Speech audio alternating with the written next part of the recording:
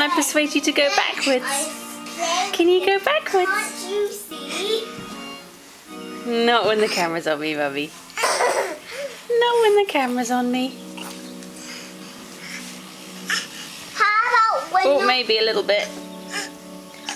Except Mummy's going to put you on a slippery blanket, so that's not going to it. Now, some of those things are a little bit small for Josie, so let's keep a careful eye and make sure they don't go completely in her mouth. No, that's a good size. And that's not. And, and that's not. I don't know, what do you think? Thanks for testing.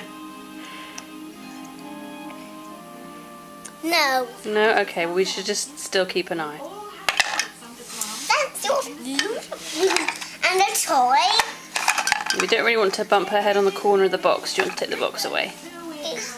Gently, gently. Toy too.